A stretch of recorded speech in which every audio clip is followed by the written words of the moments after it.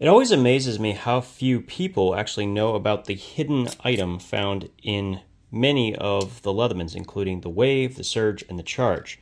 So if you use the pocket clip here, you can actually get it to deploy, I think. So the, the item we're talking about, of course, is going to be the lanyard ring. There's actually a lanyard ring stuck inside the frame in the opposite side of where the pocket clip is. And we can actually pull that out and get it to deploy, just like that. The same thing is true on the Leatherman Charge series.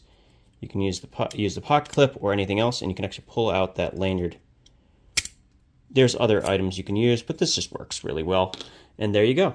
There's your lanyard. So you don't actually have to buy a separate lanyard that comes with the pocket clip. You can actually use the one that's built in. Just something that you should be aware of, and most people I hear all the time, they just don't even know it exists.